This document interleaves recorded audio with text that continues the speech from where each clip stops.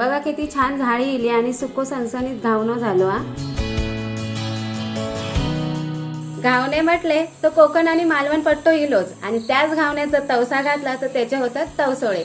चला आज आपण पाहूया आमच्या परब किचनमध्ये तवसोळ्याची रेसिपी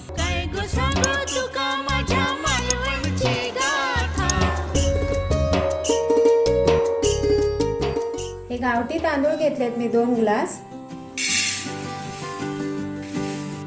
सुराई तांदूळ आहेत गावचे आपल्या. हे तीन पाण्यातून मी धुवून घेतलेलं. आहे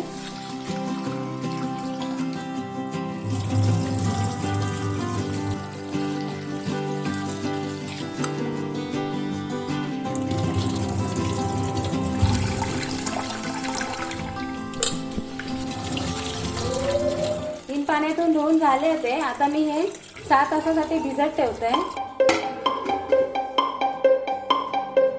सात तासानंतर आपले तांदूळ चांगले भिजले आहेत. हे मी तीन वेळा धुतलेले हे पाणी मी टाकून देणार नाहीये.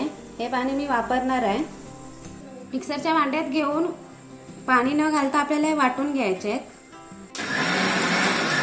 हे जे पाणी आहे तांदूळ भिजत घातलेलं ते पाणी आता ह्याच्यात थोडंसं घालायचं आहे आणि आपण हे बारीक नाही वाटायचं आहे चरचरीत असं वाटायचं आहे आपल्याला. ह्या पद्धतीने आपल्याला असं चरचरीत वाटून घ्यायचं आहे गावठी काकडी आपली हिरवी हिरवी गार असतात आणि काकडी कधी पण खाऊन बघायची की त्या कडू असतात म्हणून. आता मी सोलून घेतोय. तुम्ही साला सगळं ठेवू शकतास किसू शकतास.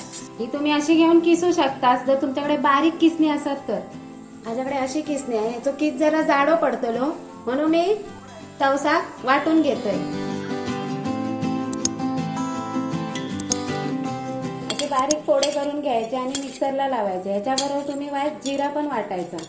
तांदूळ वाटले त्याच भांड्यात मी तवसा वाटतोय.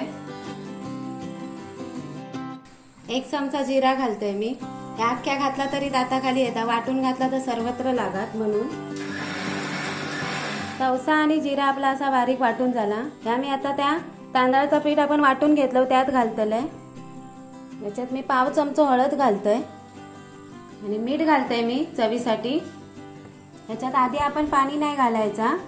आधी आपण ढवळून बघायचा किती पातळ झाला आता. हा मग आता जाड वाटला. मी वाईच पाणी घालतले याच्यात. आधी मिक्सरचा भांडा धुवून घेतलाय त्याच पाण्यात.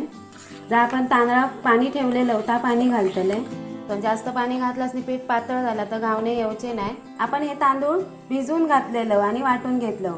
जर तुमच्याकडे सुक्या पीठ असतात तर कुठला पण सुक्या पीठ नाही घालायचा तांदळाचा. मी आधी जो व्हिडिओ टाकलाय घावण्याचा पीठ तयार करूचा तसा पीठ असा तर चालत. नाहीतर तुम्ही जर तांदूळ भिजून सुकत घालत असाल तर असा पाणी कमी घालायचा.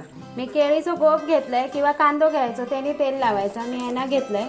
गावी आहे म्हणून मी यांना तेल लावते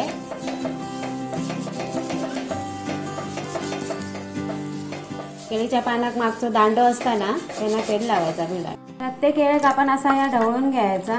नाहीतर तांदळाचा पीठ बुडी बसता.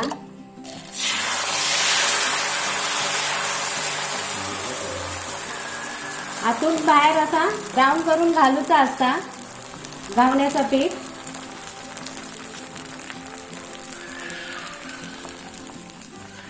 आता झाकण ठेवचा नाहीतर घावणं वायरडे येता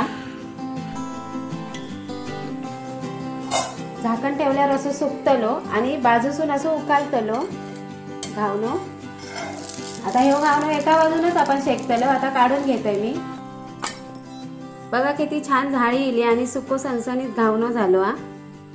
ह्यो तुम्ही अशी वाफ याची गेली पाणी याचा निघून गेला.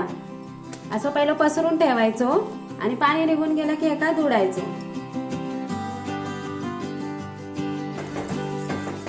पुन्हा आपण दुसरं गावणं घालते पुन्हा तेल लावून घ्यायचा. प्रत्येक वेळेस आपण असा या ढवळून घ्यायचा नाहीतर तांदळाचा पीठ बुडी बसता. आतून बाहेर असा ब्राऊन करून घालूचा असता.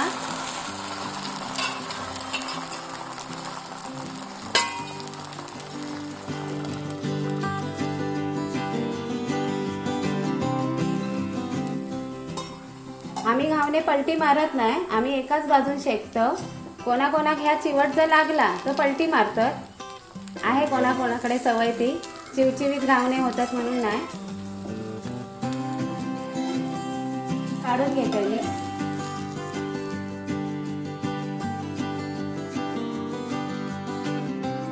असे हे तवसोळे तुम्ही नारळाच्या दुधासोबत आणि चाय सोबत एकदम भारी लागतात. असे तवसोळे तुम्ही नक्की करा. परब किचन लाईक करा सबस्क्राईब करा आणि हो मस्त रवा आनंदी रवा परब किचन पाहत रवा.